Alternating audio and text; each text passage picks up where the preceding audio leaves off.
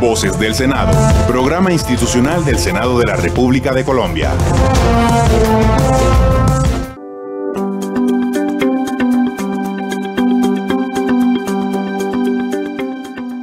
Hoy es un día especial. Nuestros corazones retumban de alegría porque en nuestro país se celebra una fecha que genera regocijo en nuestros corazones. A todas las madres de Colombia, un feliz día. Para las mamitas del equipo de voces del Senado y por supuesto en especial la mía, les enviamos un abrazo de oso y les recordamos que son nuestro motor para dar lo mejor de nosotros cada día. Soy Pedro Elías Vargas Muñoz de la Oficina de Información y Prensa del Senado de la República y en compañía de mis compañeros Sandra Pupo y Fabio Calleja Ramírez estaremos llevándoles toda la información de la Cámara Al. Fabio, el día de hoy muchas personas festejan, aquellas personas que tienen la oportunidad de tener a ese ser querido con vida. Así que usted si tiene a su mamá con vida, abrázala, dale un beso, dile cuánto la amas y cuán importante es para tu vida. Desafortunadamente mi madre Carmenza se fue hace años, está en el cielo pero me ha ayudado y hoy pues quiero recordarla con mucho cariño, pero también felicitar y saludar a María Eugenia, mi esposa, quien es una madre, una gran esposa y que me ha dado lo mejor que son sus hijos como son o nuestros hijos como son Nicolás y Laura. Estos temas fueron noticia esta semana en la Cámara Alta.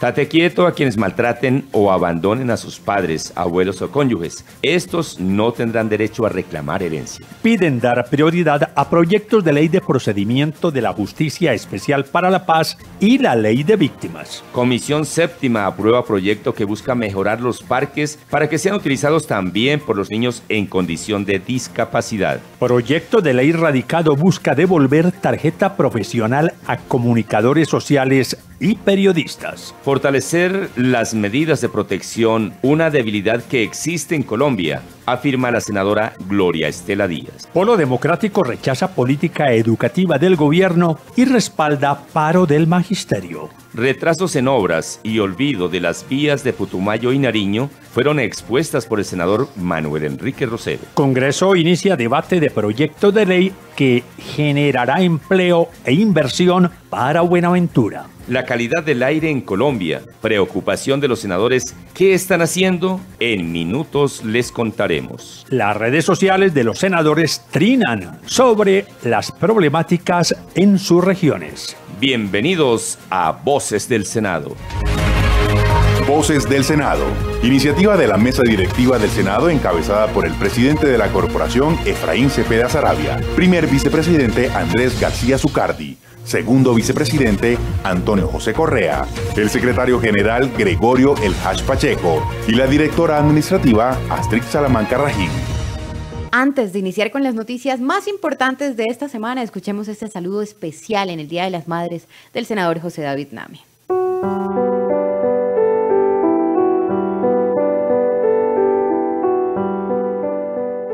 La madre en Colombia tiene un significado muy especial, casi que gran parte de la sociedad colombiana en muchos hogares tienen una madre cabeza de familia, por eso son tan importantes, por eso son el motor de la sociedad en Colombia.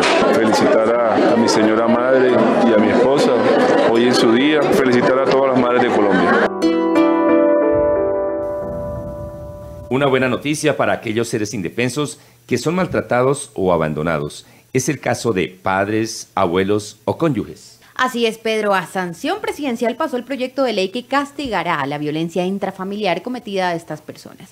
Así lo indicó el ponente de la iniciativa, el senador Roy Barreras. Carolina Martínez nos cuenta más detalles. Aquí lo que buscamos es castigar a los maltratadores para que aprendan a respetar y a cuidar a los adultos mayores, a los ancianos y a las personas con discapacidad. Así lo señaló el senador Roy Barreras, quien indicó además que en el 2017 hubo más de 70 mil casos de violencia intrafamiliar y más de 20 mil casos de abandono. Es una buena noticia. Ha terminado su trámite, solo le resta la sanción presidencial. El mensaje a las familias colombianas es un mensaje de amor para honrar a los padres. Aquellos malos hijos que maltraten a sus viejos, a sus padres, a sus abuelos, perderán el derecho a la herencia. Y no solo ellos, cualquiera que sea sujeto de maltrato intrafamiliar pierde el derecho a la herencia, porque la familia tiene que ser honrada y tiene que ser amada. Voces del Senado. Hola, mi nombre es Laura Munevar, soy editora de Voces del Senado y hoy en este día tan especial quiero enviarle un saludo a mi mamá, Ginier Cubides, eh, darle las gracias por estar siempre conmigo, apoyándome en todo lo que necesito. Te amo, mami. Y los senadores Efraín Cepeda, presidente del Congreso, y Roy Barreras hicieron un llamado al gobierno nacional y a sus colegas para priorizar en lo que resta de esta legislatura los proyectos de ley de procedimiento de la Justicia Especial para la Paz y la Ley de Víctimas. A continuación, Luz Elena Salgado nos tiene esta información. Luz Elena. El presidente del Senado, el conservador Efraín Cepeda Sarabia, fue enfático en recordar que esta justicia es para juzgar delitos cometidos antes de la firma de los acuerdos de paz con la FARC y aplicar justicia severa después de la firma de los acuerdos, ya que los integrantes de la Fuerza Revolucionaria de Colombia FARC se comprometieron a no seguir cometiendo hechos violentos. Creo que aquí hay unos avances innegables eh, que tenemos que preservar. Uno de ellos, de manera muy clara, la JEP solo podrá determinar en caso de los delitos cometidos eh, con posterioridad a diciembre del 16, solo tendrá la potestad de revisar y decir en qué fecha fueron cometidos eh, esos delitos, fue antes o después del 2016. Esto no implica ningún proceso amplio ni ninguna solicitud de prueba. A su turno, el senador del partido de la U, Roy Barrera, dijo que la ley de procedimiento de la Justicia Especial para la Paz debe ser prioridad del Congreso y del Gobierno, ya que en vilo no está solo el proceso de paz, sino la verdad de las víctimas. La no repetición, la incertidumbre jurídica que tienen no solo los señores que eran comandantes de la antigua guerrilla de las FARC ya desarmada y desmovilizada, sino los 3.000, por lo menos, excombatientes que en las zonas esperan esa seguridad jurídica y necesitan que la JEP esté funcionando. Asimismo, agregó el legislador Roy Barreras que el Congreso debe meter el acelerador al proyecto que asigna las curules para las víctimas. Hace ya dos semanas radiqué de nuevo la ponencia unificada de las curules de las víctimas. Yo demando que se programe su votación. Finalmente afirmó que en tres semanas el Congreso de la República debe votar estas dos leyes, pues también está en turno el proyecto de ley que reglamenta la elección del Contralor de la República. Y una tercera ley, no menos importante, la que determina el mecanismo de elección de Contralor. Colombia se va a quedar sin Contralor porque la ley que se reglamenta ni siquiera ha tenido primer debate. Voces del Senado. Un saludo muy especial en este día, Día de las Madres, a Marianela Amor Castilla, la mamá de María Emma. Qué hermosa criatura trajo al mundo. Saludo especial para ella. El senador Guillermo García Realpe del departamento de Nariño también tiene su corazoncito, por supuesto, máxime cuando se trata de un día como el que estamos celebrando en Colombia. Así que escuchemos su saludo a las colombianas, a las madres, a las madres cabezas de familia, a los padres que son padres y madres. La verdad, reconocerles el aporte y de unidad que dan en familia y devolverla a celebrar con el propósito de reivindicar, valorar y estimar y admirar su labor. Noticias como estas son agradables de contar. La Comisión Séptima de Senado aprobó el proyecto de ley que busca modificar los parques infantiles y adecuarlos para el uso de los niños en condición de discapacidad. ¿De quién es esta iniciativa? Billy Val Beltrán nos contesta la pregunta. La iniciativa es de la senadora conservadora y presidenta de la Comisión Séptima, Nadia Blel, quien nos explica en qué consiste el proyecto. Es un proyecto de ley muy bonito, un proyecto de ley que beneficia especialmente a los niños en condición de discapacidad. Este proyecto lo que busca es que los parques infantiles que ya están construidos o aquellos que se van a construir en el territorio nacional tengan las condiciones mínimas, unas condiciones no solamente para el acceso, sino también para el disfrute, para la diversión y la recreación de los niños con discapacidad. Lastimosamente los parques que tenemos hoy, ya sean parques públicos que se encuentren en, escenarios públicos o parques privados, no cuentan con juegos no mecánicos que sean aptos para los niños con discapacidad. Hoy en día son más de 100.000 niños en nuestro país menores de 5 años que están en condición de discapacidad y lastimosamente no pueden disfrutar de estos eh, lugares de recreación. Esta iniciativa sigue su trámite ahora en plenaria del Senado, en donde se espera también sea aprobado por el bienestar de nuestros niños. Síganos en Facebook como Senado Colombia, en Twitter e Instagram como arroba Senado GovCo y a través de la aplicación Mi Senado, donde pueden ser veedores de la labor que cumplen los congresistas. Bueno, soy Carolina Martínez, periodista de Voces del Senado. Le quiero mandar un saludo muy especial a todas las mamitas. Y aunque no puedo celebrarle hoy el Día de la Madre a mi mamá, sí tengo dos mujeres maravillosas que les quiero mandar un beso y un abrazo enorme. La señora Elizabeth Gutiérrez y la señora Carmen Elisa Pulido, quienes han sido dos mujeres que me han brindado su amor, su cariño y comprensión. Por eso hoy les quiero mandar un gran abrazo, un gran beso y que tengan un día lleno, pero lleno de bendiciones. Continuamos en Voces del Senado. En buena hora este proyecto de ley, apreciados colegas. El senador de Opción Ciudadana, Mauricio Aguilar, radicó el proyecto de ley 234 de 2018 Senado que permitirá a comunicadores sociales, periodistas y organizacionales obtener su tarjeta profesional. Presenta la noticia Rodrigo Meléndez. El senador de Opción Ciudadana, Mauricio Aguilar, radicó ante la Secretaría del Senado el proyecto de ley 234-2018 Senado que pretende devolver la tarjeta profesional a los periodistas y establecer de nuevo el oficio de periodista como una profesión. Queremos precisamente darle ese reconocimiento a la profesión del comunicador social, organizacional y periodista para que precisamente volverle a rescatar y darle esa dignidad a esta importante profesión. Uno de los puntos muy importantes es volver a otorgarles su tarjeta profesional, de ser muy claros de que no va a haber limitantes a quienes han ejercido la labor durante muchos años de manera empírica. El legislador confía en que el proyecto no vaya en contravía de la Constitución colombiana que establece el derecho a informar y ser informado y aspira que antes que termine la presente legislatura se le puedan dar uno o dos debates a esta iniciativa.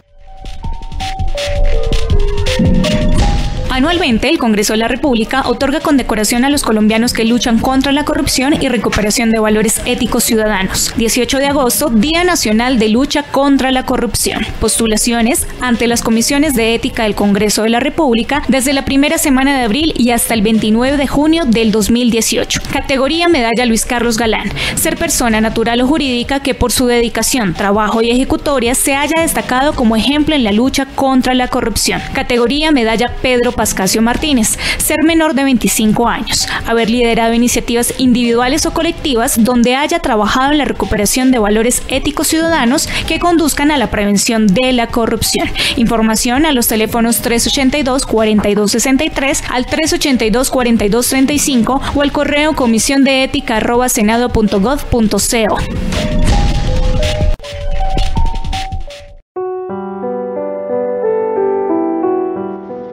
No hay nada más hermoso que en el Día de las Madres expresar el sentimiento de amor que nunca es capaz uno de expresar con palabras para mi querida madre, doña Diodela, en la costa de Colombia. Para ti, madre linda, el abrazo más especial y el amor más intenso, más grande y más limpio que jamás pude expresar. Un beso y un abrazo para ti, mi amada madre.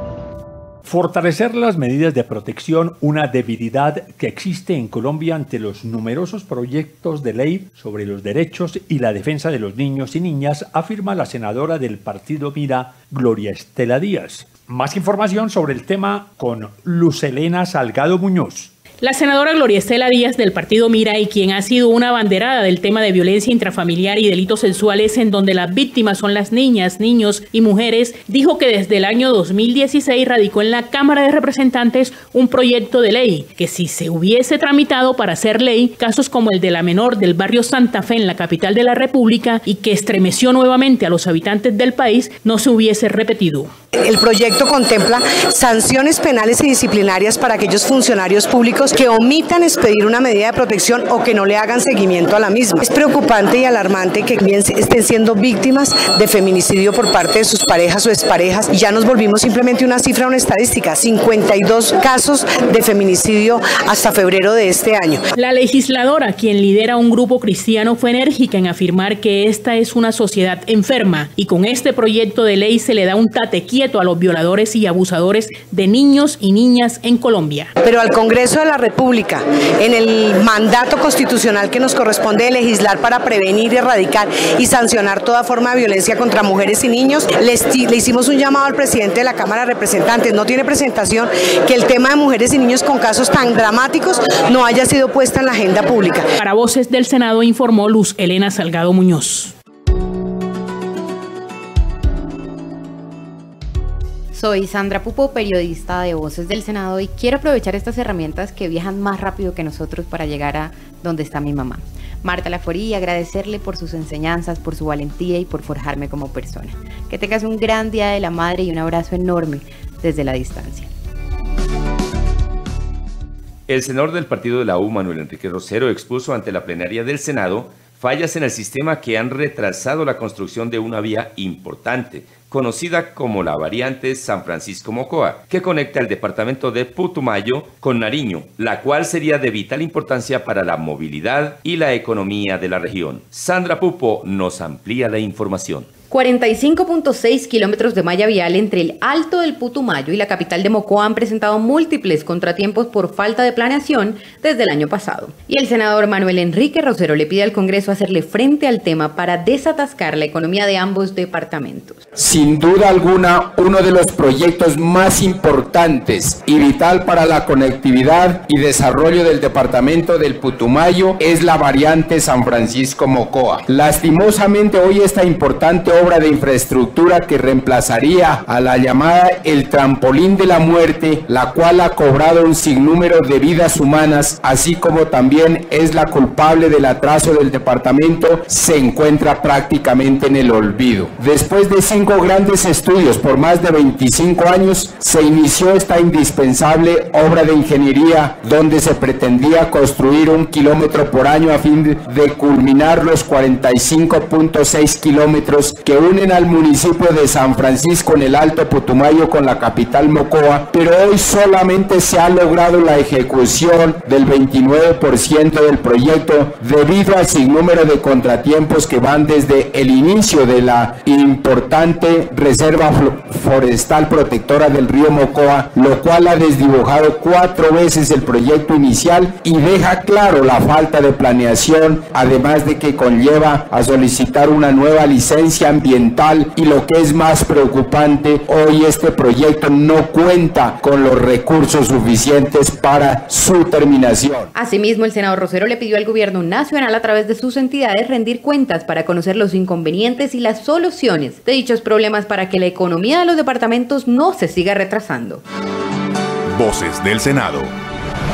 El Partido Polo Democrático Alternativo en cabeza del senador Jorge Enrique Robledo lamentó que los docentes deban hacer paros o protestas recurrentes para ser escuchados y atendidos por el gobierno nacional. Esta nota la presenta Rodrigo Meléndez. Adelante, Rodrigo. El senador Jorge Robledo del Polo Democrático, a nombre de su bancada, respaldó el paro de 48 horas que realizaron cerca de 270 mil docentes en todo el país y que busca simplemente recordarle al gobierno los compromisos incumplidos en los acuerdos del año anterior, que incluyen, entre otros, un sistema de salud con funciones específicas, modificación del sistema general de participaciones, resolver el congelamiento del escalafón y otras peticiones, tal como lo dice el senador Jorge Enrique Robledo. Este es un paro que tiene origen en que el gobierno de Santos es un gobierno faltón. ¿Por qué? Porque hace un año se hizo un paro justísimo, muy largo, donde el gobierno firmó una serie de compromisos con los maestros en beneficio de las condiciones de vida y de trabajo de los maestros, pero en beneficio de los niños y los jóvenes de Colombia.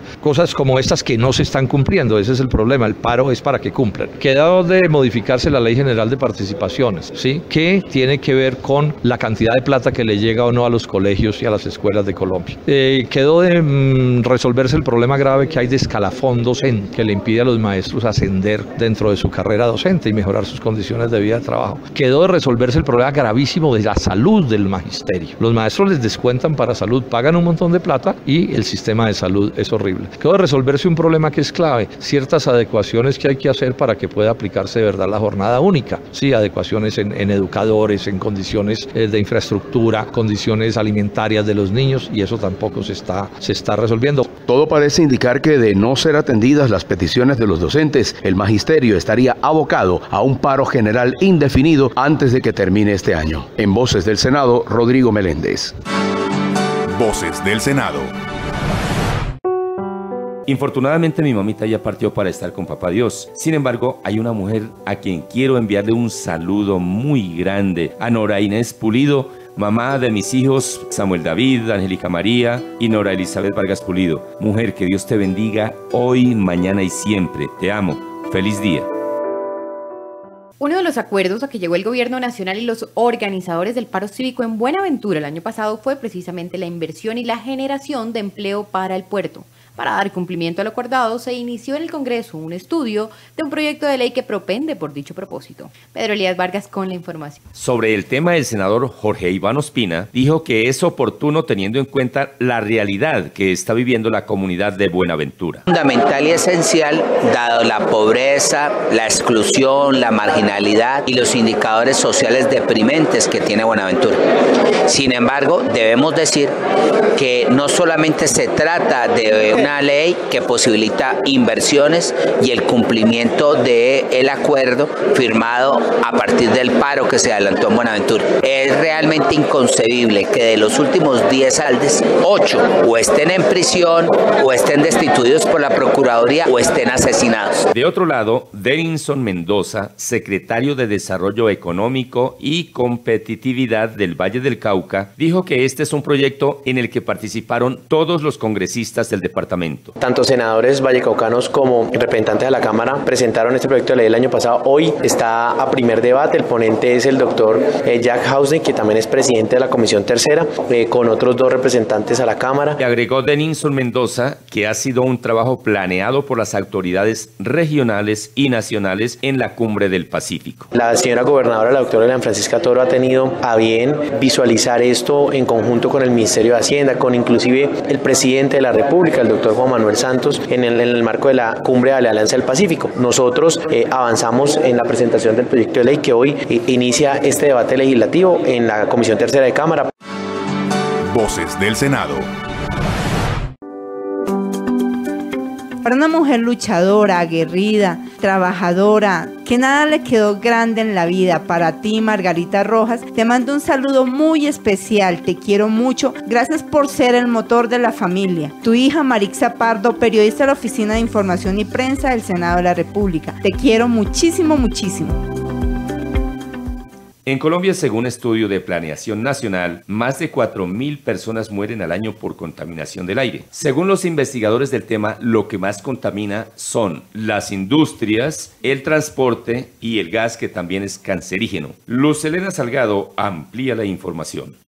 La electa senadora Angélica Lozano dijo a voces del Senado que el proyecto de ley sobre la calidad del aire sigue su curso en Cámara de Representantes y aspira a que sea ley de la República antes de terminar la presente legislatura, al tiempo que afirmó que es un problema de salud pública la contaminación del aire en Colombia. Hay 17 muertos por cada 100.000 habitantes por afectación a la salud. Estamos expuestos a la contaminación del aire. Hay distintas clases de micropartículas que van a los pulmones, a la sangre, que no generan efecto inmediato. Unas sí, ojos rojos, molestia en la garganta, pero hay otras que incuban enfermedades que resultan evidentes en el más largo plazo. Entonces se necesita voluntad política y conciencia real y eso implica invertir recursos y tomar medidas que incluso pisan callos. Asimismo, el director del IDEAN, Omar Franco, celebró la iniciativa legislativa en mejorar la calidad del aire en Colombia. Efectivamente, toda iniciativa legislativa de COMPES, por ejemplo, de política pública, que se adelante en procura de mejorar la condición de calidad del aire en el país es necesario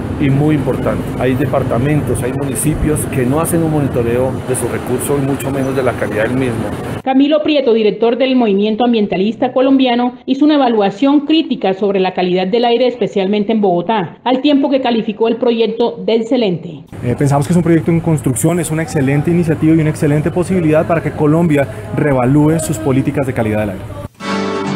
Voces del Senado.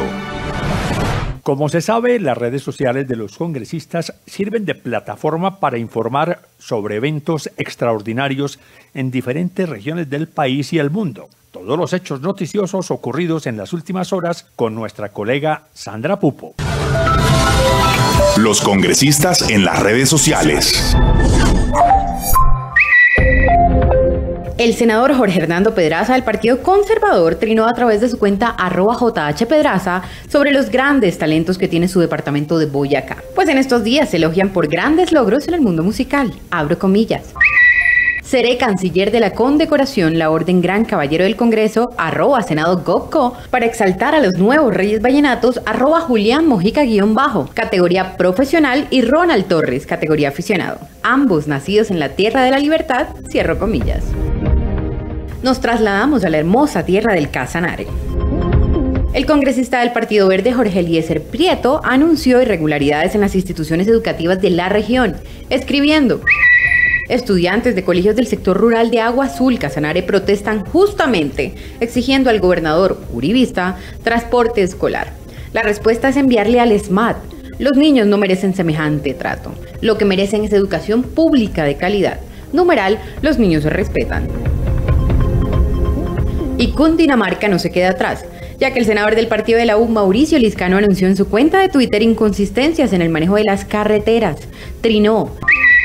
Es un desastre el manejo que la concesión Perímetros de Oriente le ha dado a los cierres en la vía de La Calera.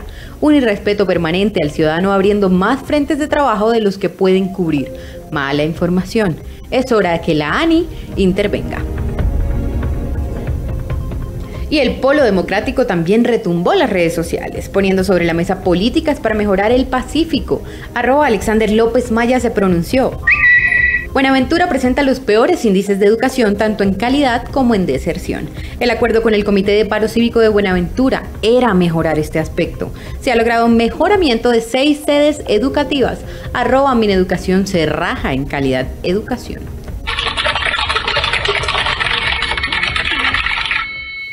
Hasta aquí lo trinado de la semana por los senadores de la República. No olviden que si desean escribir y tener contacto directo con los senadores, pueden descargar la app Mi Senado, una plataforma innovadora en donde usted tiene voz y voto en la democracia. Voces del Senado. Amables oyentes, escuchemos el saludo del senador Manuel Enrique Rosero del Departamento de Nariño. Adelante, senador.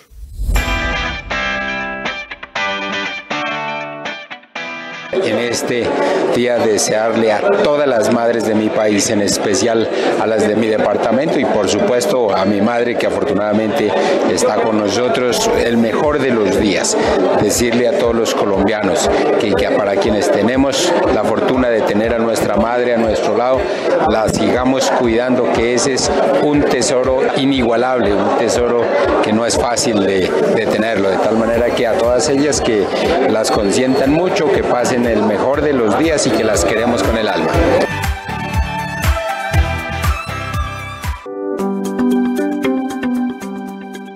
Finaliza la emisión especial hoy, Día de las Madres de Voces del Senado. Pero no queremos irnos sin antes invitarlos a que nos escriban a través del correo electrónico vocesdelsenado.senado .gov.co y nos cuenten las dudas, sugerencias, quejas, reclamos y comentarios que tengan frente a los temas legislativos. Asimismo, no olviden seguirnos en las diferentes plataformas virtuales. En Facebook pueden encontrarnos como Senado Colombia, igualmente en YouTube, pero si usted quiere trinar sobre nuestros temas, el usuario es arroba senado.gov.co, utilizando el numeral Voces del Senado.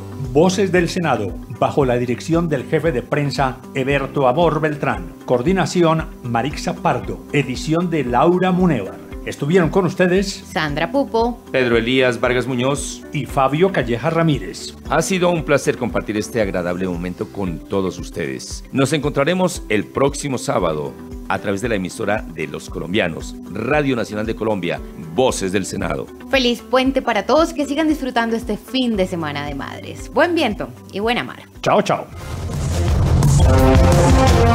Voces del Senado, programa institucional del Senado de la República de Colombia.